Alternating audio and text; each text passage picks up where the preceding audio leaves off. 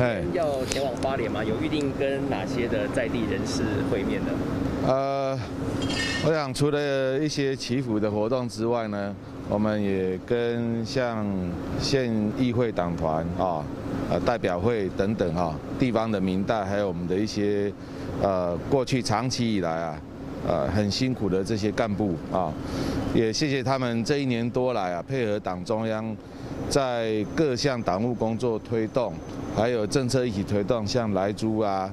疫苗啊、纾困等等啊，我们中央跟地方的这些连线工作啊，那呃现在的党中央其实不只是要领导啊，更要服务啊，所以地方的议会也好，县市政府也好，任何的需要，我想都是我们要服务的这些工作重点，所以我想未来呢，啊，我们也听听大家的意见啊，是不是有哪一些我们还可以再调整、再改进的哈？我想作为未来我们工作的参考。那昨天那个朱市长他有前往大甲镇南宫嘛，跟嗯盐金麦董事长见面。那对于朱市长这样子想进攻台中，会不会有压力呢？会不会有觉得被拔庄的感觉呢？不会啦，妈祖是慈悲的哈，不分颜色。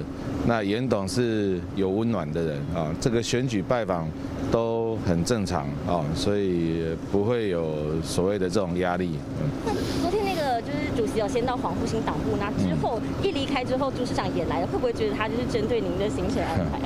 防护心是大家的啦，这个没有分属于哪一个人啊、那特别防护心是本党最忠贞的铁卫，所以大家是去关心防护心党部是应该的。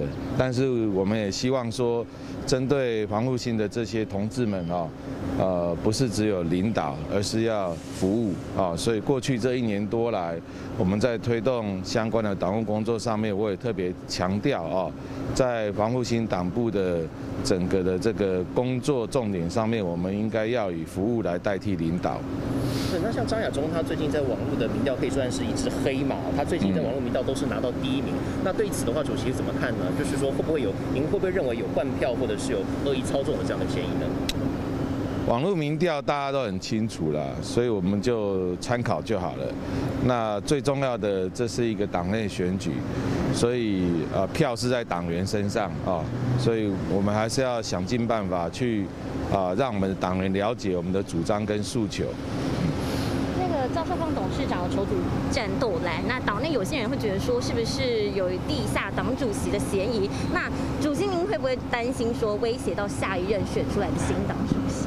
不用担心啦，因为过去一年七个月时间，我就是在号召战战斗，做一个在野就是战斗哦，不断的战斗哦。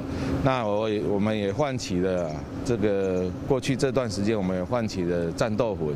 那我也谢谢少康兄啊，他这个继续倡议啊，战斗蓝啊、哦。那其实战斗，呃。应该讲说战斗是威力啦，不是威胁哈。那其实如果要讲说战斗会感到威胁的话，应该是民进党会感到威胁。